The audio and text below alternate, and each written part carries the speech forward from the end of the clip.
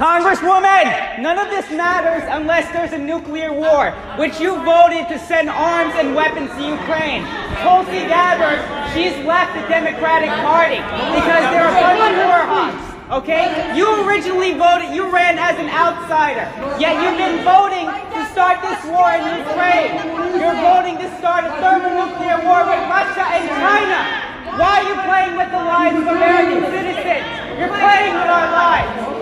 There will be no neighbors there's a nuclear bomb. You voted to mobilize and send money to Ukrainian Nazis. You're a coward. You're a progressive socialist. Where are you against the war mobilization? He's telling the right truth. You have done nothing. Tulsi Gabbard has shown guts where you've shown cowardice. I believed in you, and you became the very thing you sought to fight against. That's what you've become.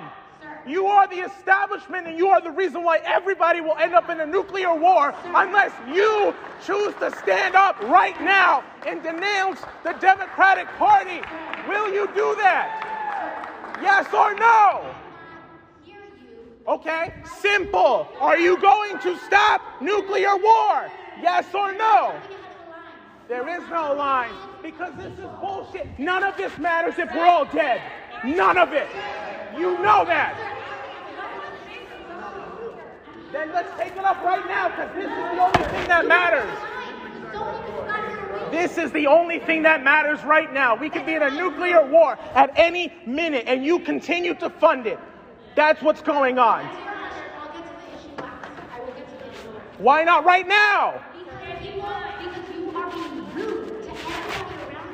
You're the liar here. Nobody has held you accountable.